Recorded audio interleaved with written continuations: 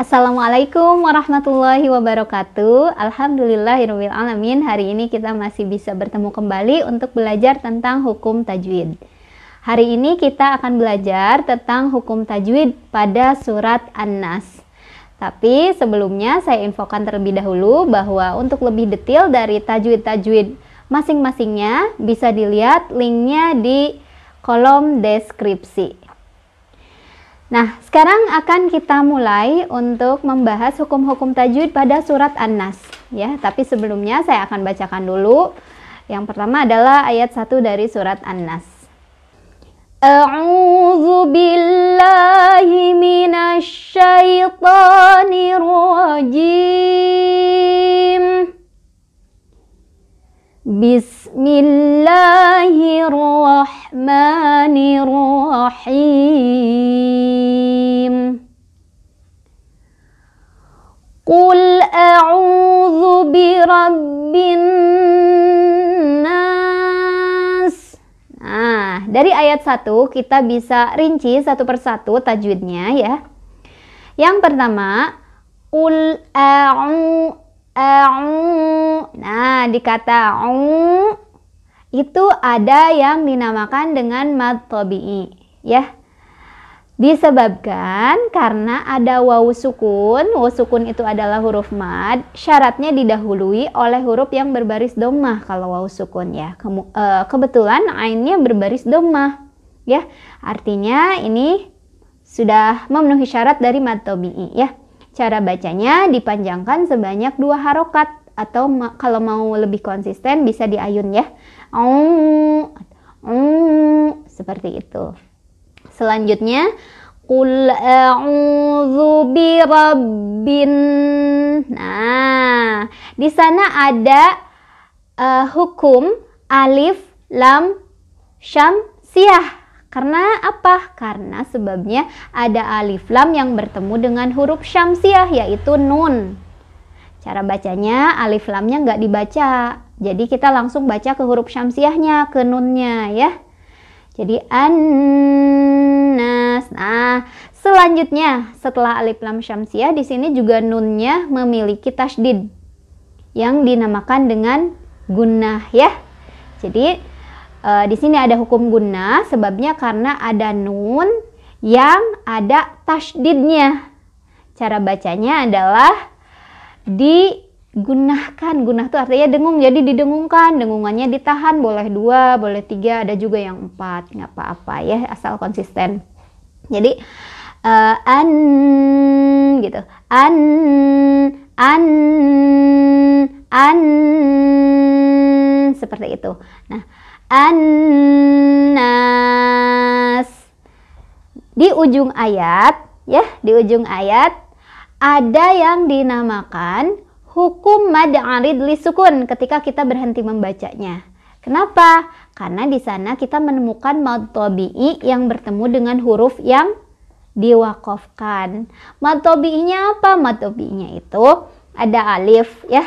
Ada alif, sebelumnya ada fathah di huruf nun ya. Nah, itu matobi'inya. Bertemu dengan huruf yang diwakafkan atau diberhentikan yaitu sin. Makanya itu dihukumi mad arid li sukun ketika berhenti itu ya. Karena tadi sekali lagi karena ada matobi'i yang bertemu dengan huruf yang diwakafkan. Cara bacanya adalah dipanjangkan. Boleh dua, boleh empat, boleh enam harokat ya. Jadi anas ya. Sekali lagi coba kita baca. Qul a'udzu birabbin nas. Seperti itu ya. Selanjutnya ke ayat yang kedua. Ayat yang kedua kita baca dulu. Malikin nas. Malikin nas. Jadi ini uh, sama seperti ujung ayat satu ya. Jadi di kata an itu ada alif lam syamsiah karena sebabnya ada alif lam yang bertemu dengan huruf syamsiah yaitu nun ya jadi cara bacanya adalah kita tidak membaca alif lamnya kita langsung baca ke huruf syamsiahnya yaitu nun ya salah satu ciri dari alif lam syamsiah adalah huruf syamsiahnya ada tasdidnya. Jadi setelah alif lam ada huruf bertasdid. Seperti itu ya. Kemudian di huruf nunnya ada tasdidnya juga yang dinamakan dengan gunnah ya. Jadi gunnah ini sebabnya ada nun yang memiliki tasdid. Cara bacanya kita dengungkan dan dengungannya ditahan 2, 3 atau 4 ketukan ya. Boleh kalau misalkan mau dua, dua aja ya, dua ketukan. Dan yang terakhir di nas sama ada mad arid li sukun karena ada mad tabi'i. Mad tabi'inya adalah alif yang didahului oleh huruf berharokat fathah. Nunnya berharokat fathah ya, itu mad tabi'inya bertemu dengan huruf yang disukunkan. Huruf yang disukunkannya adalah sin ya. Artinya uh, ini cara bacanya adalah kita panjangkan sebanyak boleh dua, boleh empat, boleh enam harokat. Ya, sekali lagi kita baca Malikin nas ya. Konsisten nahan gunahnya ya. Malikin nas seperti itu. Kita lanjut ke ayat selanjutnya. Di sini juga ayatnya simple singkat ya. Ilahin nas. Ila dila ya bila ada yang dinamakan dengan mad tabi'i ya. Kenapa mad tabi'i yang mana mad tabi'inya ya? Mad tabi'inya adalah di atas kata lam ada fathah berdiri. Fathah berdiri itu kalau diuraikan dia adalah fathah mewakili fathah sama alif. Seperti itu jadi kalau ada fathah uh, menghadapi alif dihukumi dengan mad tobi'i ya cara bacanya adalah dipanjangkan dua harokat. Atau diayunkan ila ila seperti itu. Hin hin. Nah kita ketemu lagi sama yang tadi yaitu alif lam syamsiah ya. Karena ada alif lam menghadapi huruf syamsiah yaitu nun. Jadi alif lamnya tidak dibaca melainkan kita langsung baca ke huruf syamsiahnya yaitu nun. Cirinya adalah huruf syamsiahnya bertasdid ya. Jadi setelah alif lam ada huruf bertasdid. Itu ciri dari alif lam syamsiah. Kemudian selanjutnya nunnya sama e, itu dihukumi dengan hukum gunnah karena nunnya bertasdid ya. Dibacanya didengungkan, ditahan 2, 3 atau 4 ketukan.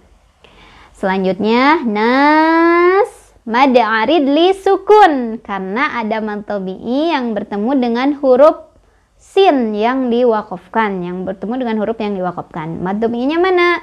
Mad adalah alif sebelumnya ada fathah di atas uh, huruf nun ya. Kemudian bertemu dengan sin yang diwakafkan. Bacanya dipanjangkan boleh dua, boleh empat, boleh enam. Kita ulang sekali lagi membacanya ilahin seperti itu selanjutnya ya. Syarril waswasil khannas. Min sya di sana ada hukum ikhfa ausat ausat ya. kenapa dihukumi dengan ikhfa ausat karena ada nun sukun bertemu dengan shin. Ya shin itu adalah huruf ikhfa ausat artinya ikhfa itu um, kita baca dengan samar-samar disertai dengan dengungan. Jadi uh, nunnya dibaca samar ya tidak terlalu diidharkan, tidak terlalu jelas, tidak juga diidgomkan, tidak juga dimasukkan. Jadi di antaranya ya, miu, miu, dan si lidah kita sudah bersiap-siap ke huruf shin. Sama didengungkan. Miu, miu, gitu. Miu syaril. Nah, alwa. Alwa itu dihukumi dengan alif lam Komariah ya. Alif lam komariah. Kenapa? Karena ada alif lam menghadapi huruf komariah. Huruf komariahnya yaitu wawu ya. Jadi cara bacanya adalah alif lamnya dibaca dengan jelas tidak boleh mantul tidak boleh mantul ya jadi yang membedakan alif lam komariah dan samsiah adalah kalau komariah ini alif lamnya dibaca tapi dibacanya sukun seperti itu ya jadi syarril syarril tidak boleh mantul lamnya.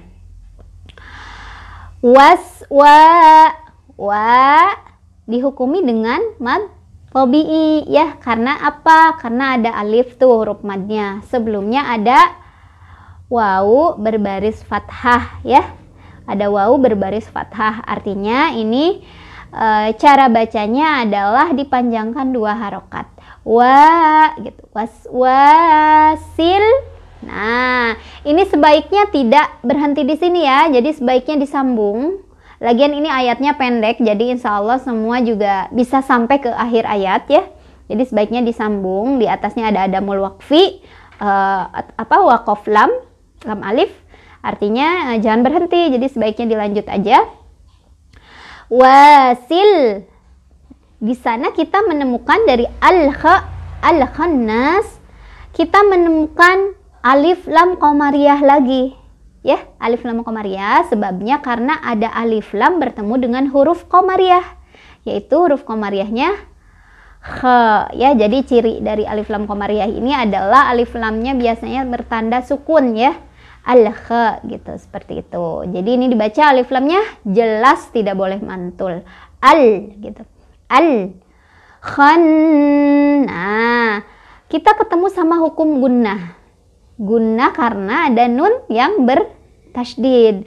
Nun bertasdid, cara bacanya adalah didengungkan, ditahan dengungannya dua, tiga atau empat ketukan. Jadi al-khan, al-khan, nas, nas, mada aridli sukun lagi ya, karena ada mad yang bertemu dengan huruf yang diwakopkan. Ini adalah alif yang sebelumnya ada huruf berharokat fathah itu matobi'inya bertemu dengan huruf huruf sin kebetulan di sini yang diberhentikan atau diwakafkan.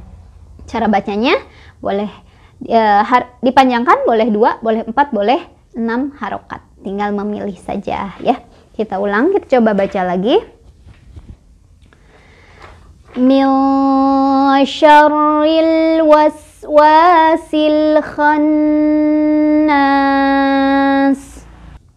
Selanjutnya, kita baca dulu ya ayat ini ayat 5. Alladhi waswisu fi sudurin nas. Alladhi. Alladhi. Nah, kira-kira ini apa nih? Alif lam komariah apa syamsiah? Ya, jawabannya ini adalah alif lam syamsiah. Lah kenapa? Karena ada alif lam bertemu dengan huruf syamsiah yaitu lam. Lah kok bukan zal ya? Kenapa bukan zal? Karena gini penjelasannya. Alladzi. Nah, lamnya kan bertasdid. Ingat-ingat bahwa ketika huruf bertasdid berarti dia terdiri dari dua huruf. Dua hurufnya apa? hurufnya yaitu uh, kalau di sini berarti yang satu sukun yang satu hidup berarti lamnya ada dua nih lam yang pertama harokatnya sukun lam yang kedua harokatnya fathah alladzi itu alla nah sehingga lam yang pertama itu nggak dibaca langsung baca ke lam yang kedua sehingga alif lam yang tidak dibaca itu apa alif lam syamsia seperti itu. Jadi kita bacanya langsung ke lam yang kedua. Makanya ini dihukumi dengan alif lam syamsiah. Cara bacanya alif lam alif lamnya tidak dibaca tapi kita langsung baca ke lam yang kedua. Allah seperti itu. Allah seperti itu ya. Allazi zi punya hukum mad tabi'i. Ya, karena ada ya sukun. Ya sukun huruf mad ya. Sebelumnya kalau ya sukun harus apa? Harus kasroh. Jadi zalnya itu barusnya kasroh. Dihukumi dengan matomi. Kita bacanya panjang dua ketukan zi zi zi ya. Alladzi waswisu fi fi fi apa coba? Ya. Mad tabi'i karena sebabnya ada ia sukun, sebelumnya ada huruf berbaris kasrah ya. Dibacanya dua ketukan. Fi sudu. Ah, ketemu lagi sama mad tabi'i lagi ya. Kenapa mad tabi'i? Karena ada wawu sukun, sebelumnya ada huruf yang berharokat domah yaitu dal. Dalnya harokatnya domah ya, jadi dibaca dua. Du rin nah rin. Anas alif lam syam siyah. Karena ada alif lam menghadapi huruf syamsiah yaitu nun. Kalau ini mah gampang ya langsung bisa kelihatan alif lam yang tidak dibacanya. Ya beda sama yang tadi. Ini alif lam samsiah uh, alif lam menghadapi huruf samsiah yaitu nun. Ya salah satu cirinya adalah alifnya alif lamnya setelah alif lam hurufnya bertasdid seperti itu. Dibacanya alif lamnya eh, nggak uh, dibaca. Jadi kita langsung ke huruf samsiahnya ke huruf nunnya. Ya. An nah, nunnya gunnah. Sebabnya karena nun bertasdid dibacanya digunakan atau didengungkan. Dengungannya ditahan. Dua tiga atau empat. An nas nas. Mad arid li sukun karena ada matabi'i. Matabi'inya adalah alif yang didahului oleh huruf berharokat fathah menghadapi huruf yang disukunkan yaitu sin. Dibacanya panjang, boleh dua, boleh empat, boleh enam. Coba kita baca lagi. Alladhi waswisu fi sudurin nas. Selanjutnya di ayat yang terakhir minal jinnati wan nas. Minal minal ji. Kita ketemu sama hukum alif lam koma riyah. Sebabnya karena ada alif lam menghadapi huruf komariah yaitu jim ya. Cara bacanya adalah alif lamnya dibaca dengan jelas. Ya tidak boleh mantul. Minal minal jinna. Nun bertasdid dihukumi dengan gun. Nah sebabnya karena ada huruf nun bertasdid huruf nun bertasdid masuk huruf gunnah dibacanya didengungkan ya sambil ditahan dengungannya dua tiga atau empat ketukan. Jadi jinnati. Wan. Ketemu lagi sama tadi sama ini mah sama ayat 1 2 3 4 5 ya ini adalah alif lam syamsiah karena alif lam menghadapi huruf syamsiah yaitu nun. Dibacanya langsung dimasukkan ke huruf yang bertasdidnya. Jadi alif lamnya tidak dibaca. Nunnya tadi apa? Guna karena nunnya bertasdid. Dibacanya berdengung ditahan 2 3 atau 4. Kemudian nas mad arid li sukun karena ada mad yang diwakafkan. Ada mad yang bertemu dengan huruf yang diwakafkan ya matobi'inya adalah uh, alif sebelumnya fathah bertemu dengan sin. Uh, sinnya diwakafkan makanya itu jadi mada aridli sukun. Bacanya boleh dipanjangkan boleh dua boleh empat boleh enam. Minal jinnati wan nas. Kita akan ulang baca dari awal sampai akhir ya dengan tajwid yang tadi sudah kita bahas أعوذ بالله من الشيطان الرجيم. بسم الله الرحمن الرحيم. قل أعوذ برب الناس malikin nas ilahin nas min syarril waswasil khannas alladhi yuwaswisu fi sudurin minal jinnati wan nas sadaqallahul azim Sekian saja untuk pelajaran tajwid dalam Al-Quran kita kali ini. Mudah-mudahan ada manfaatnya. Silakan untuk menonton video-video kita yang lainnya untuk mendapatkan informasi yang lebih banyak lagi. Sekian saja. Wassalamualaikum warahmatullahi wabarakatuh.